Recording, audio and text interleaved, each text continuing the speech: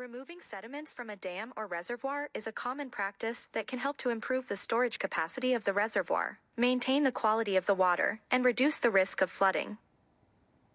Flushing of reservoir involves releasing water from the reservoir at a high flow rate to carry sediment downstream. Flushing can be an effective method for removing small to medium volumes of sediment, but it have negative impacts on the environment downstream of the reservoir, removal of sediment and pollutants. Over time, sediment, debris, and pollutants can accumulate in a reservoir, reducing its storage capacity and potentially contaminating the water. Flushing can help to remove these unwanted substances, improving the quality of the water and reducing the risk of health and environmental impacts.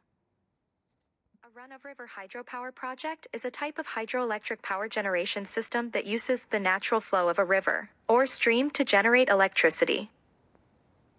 Unlike traditional hydroelectric dams that require the construction of large reservoirs to store water, run-of-river projects divert a portion of the river's flow through a channel or penstock and use it to turn a turbine and